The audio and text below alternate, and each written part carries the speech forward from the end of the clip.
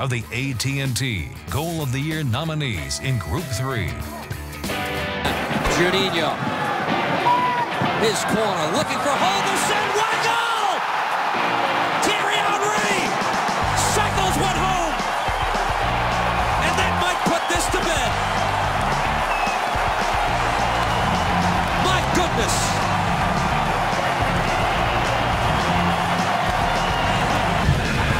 Ball for Olmes Garcia. A shot from distance is rifled in.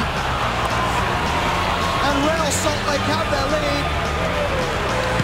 Yordany Alvarez fires it past Joe Bendik in the final minute of the first half.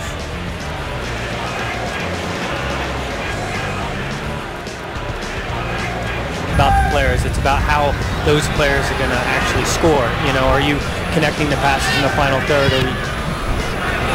Convey with the opportunity, yes! Now, there you go, you brought some good luck as well. As Darel Russell cuts it into the far corner to tie it at one. Everybody forward for Montreal for this. They back a few off. Looked out of the top of the box. Overhead. Oh, sensational goal.